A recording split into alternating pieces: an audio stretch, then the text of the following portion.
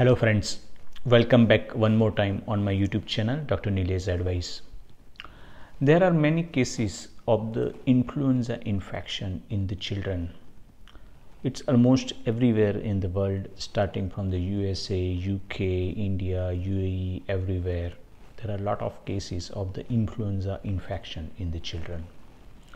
So today we are going to discuss something about influenza virus how it is what kind of the structure this virus has whether it is really dangerous what about the symptoms of the influenza infections what about the treatment of the influenza infections how we diagnose influenza infections all those things we are going to discuss today in this video so this video mainly dedicated to influenza respiratory infection. Almost all the informations related to the influenza infections I am going to give in this video. Regarding influenza vaccine, I have already prepared one video because influenza vaccine we have to give prior the influenza season start. So on an average influenza season starts from September onwards. So at that time the influenza updated vaccine will come into the market. And we doctors recommend to give to the, uh, give the influenza vaccine to the high risk individuals specifically the children uh, elder age people pregnancy all those things. So that video if you have not watched you can watch that video on my channel that influenza vaccination in 2022 how to give when to give everything i have described about the influenza vaccination in that video prior to start the actual video i want to emphasize that this channel is not for any monetary gain. Uh, this is kind of the not for profit uh, youtube channel and whatever earnings is there is going to get utilized for the underprivileged children and the children who are in need of the funds.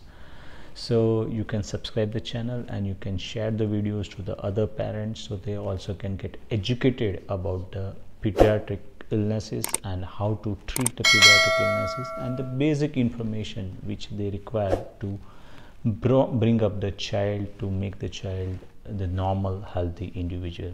Thank you.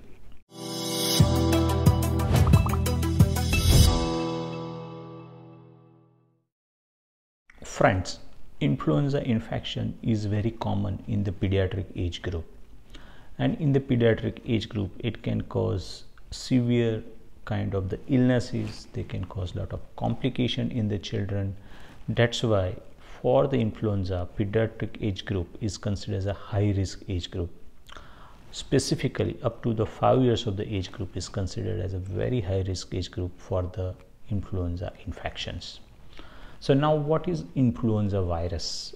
So influenza is basically one of the viruses which is affecting the respiratory system so it is a small virus uh, which has various types and subtypes. It spreads through the air through the contact uh, by the like the somebody is infected with the influenza virus and if he sneeze cough and if somebody comes in the contact then he can also acquire the influenza infection so exactly almost all the respiratory viruses spreads through the either air or with the contact. We have seen in the COVID infections that to protect the us from the COVID infection, we were wearing the mask. Why we were wearing the mask? Because we are stopping the transmission of the COVID infection into the, our body by wearing the mask. So same way, so almost all the respiratory viruses, whether it is the influenza virus, COVID virus, para-influenza virus, rhinovirus, metapneumoviruses, all these are the respiratory viruses which is, can be easily prevented by the mask. But obviously, it is not feasible to wear the mask throughout the year. So that's why children keeps on getting infections of the influenza by getting comes into the contact uh, with the sick children who is already infected with the influenza. Now, influenza viruses spreads through the air, but are there various types of the influenza? Yes, there are various types of the influenza, and broadly it is getting classified into the A, B, C, and D. So, A and B type of the influenza virus is causing more infections. Usually they cause the infection into the humans. And those are the little bit more moderate to severe type of the infection. Type c influenza doesn't cause that much, that much severe illness in humans. There might be some running nose cough and the person will become fine.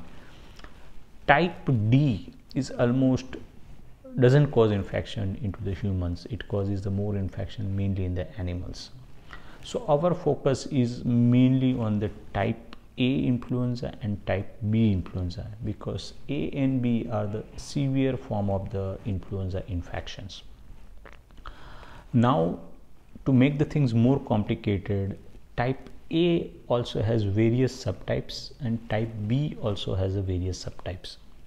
So if you have heard the name like the H1N1 which was a swine flu influenza you might be aware that influenza pandemic 2009 in the 2009 influenza was spreaded just like how the covid spreaded but the severity severity was little bit lesser than the covid that's why it was it didn't came in that much limelight so what is this H1 and N1?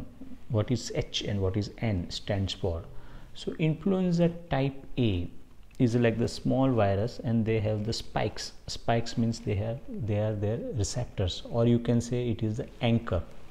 So whenever influenza want to enter into the human body, they will first travel through the nose and these H and N are the receptors that receptors their anchors bi uh, bind with our nasal cavity or the our airway and by this h and n they transfer through the our body and they will start causing the infection so there are various numbers of the h and various number of n so around number 18 from 1 to 18 so h1 to h18 n1 to n18 so there are various combinations like H1N1, H3N2, H1N18. So that become one more subtypes. So suppose I am getting infected with H1N1 now. I might get infected again uh, in the future by H3N2 or maybe H2N9 N17. So there are almost around 130 130 type of the influenza A only influenza A. Influenza B subtypes are also there. Influenza C and D, relatively, there are no subtypes. But influenza doesn't cause infection to the human. Influenza C causes a minor illness in the human. So we are not much interested in C and D. But influenza A, H, and N. So there are various types of the influenza A which can affect the children. So suppose uh, the child is getting infected with one type of the influenza A he has still the risk of getting infected with the other type of the influenza A. So, what type of the illness influenza viruses can cause? Influenza mainly cause the illnesses which are related to the respiratory system. So very high grade fever like the 39 40 degree temperature headache body ache uh, pain while the swallowing or the throat pain watering of the eyes. Generally the children gets uh, vomiting also because most of the illnesses in the children causes the vomiting and influenza is also prone to cause the vomiting. Certain type of the influenza a virus uh, can cause the affection of the brain and the children might get seizure also. And the children with the high grade fever they can get the seizure known as a febrile seizure uh, for the febrile seizure also I have prepared one full video. You can uh, watch that video uh, how to tackle febrile seizure at home how to um, treat the fever at home. For that also I have prepared two three videos. All those videos are useful to the parents so you can go and watch those video on my YouTube channel. Now regarding suppose if you get the influenza infection now how to treat? So most of the influenza infection can be treated easily with just maintaining the good hydration and taking the symptomatic medications like the for the fever you take the medicine for the fever for cough and cold you take some antihistaminic some nasal spray. But in certain high risk situation we advise to give the antiviral medicines. So influenza is virus so you will have an antiviral medicine known as tamiflu so commonly this medication is used uh, tamiflu to treat the influenza infection in the children. At present uh, at many places it is available as a, in a syrup form and at some places it is not available in the syrup form so we are using the capsule form to treat the influenza infection in the children. Now this tamiflu is really really bitter medication and it causes vomiting in the children so that's why tamiflu is always advised to use by putting the medicine into the fruit juice. Don't give on the empty stomach otherwise child will have a number of vomiting. The problem is influenza also cause the vomiting and the medicine of the influenza also cause the vomiting. So we have to use it carefully. Uh, we have to dilute the medicine into the fruit juice then and then we can give to the children now regarding protection from the influenza it is easy. Wearing the mask yes wearing the mask will reduce the transmission of infection. So from one person to the another person the transmission will be get reduced. So we are basically breaking the chain of the transmission. So wearing the mask is one of the effective way to get protected from the influenza infection. Frequent hand washing is very important because many times we touch uh, the secretions of the persons and by knowingly or unknowingly we touch our body parts and the infection get transmitted. Hydration is very important. Take more water liquid soup juice all those things are very important to maintain the good hydration. And the last thing is the influenza vaccinations. So influenza vaccination is available almost everywhere uh, but many times there are some of the rumors or the wrong information or the misinformation to the parents that it is better to develop the natural immunity rather than giving the immunity from the vaccines.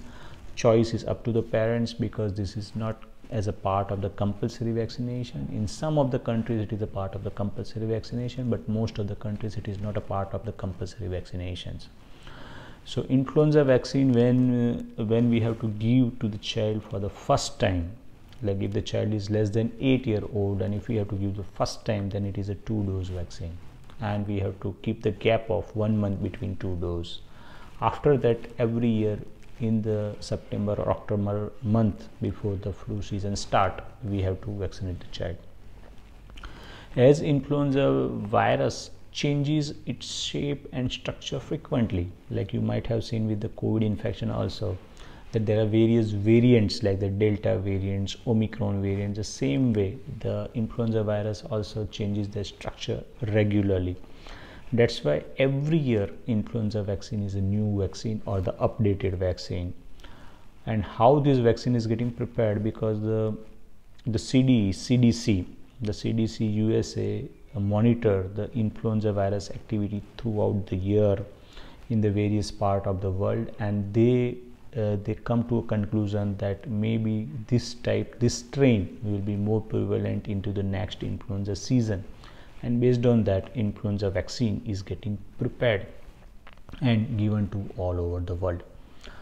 Now you might be also surprised to know that influenza vaccine is different for the northern hemisphere of the earth and the southern hemisphere of the earth so the countries who are in the southern hemisphere has a different vaccines, countries who are in the northern hemisphere has a different vaccine. So it is always to get checked with your doctor that which vaccine your child needs. So I hope I have covered uh, most of the things related with the influenza infections, influenza virus itself, why there are various subtypes and why the children get infected multiple times why we have to take the vaccine every year uh, what are the effects of the vaccines and yeah i didn't told you about the side effects of the vaccination. Most of the children tolerates well the influenza vaccination but in some of the children there can be a high grade fever and same like the influenza symptoms like the running nose cough cold can be there. Some children develop the pain at the injection site very rarely very rarely some of the children might get some illness known as guillain-barre syndrome but that is also very very less. So now i think i have completed everything about the influenza vaccine. If you like this video you can share the with your friends family friends colleagues mainly with the parents of the younger children who can get benefited from this video. And if you are first time on my youtube channel subscribe as well. Thank you very much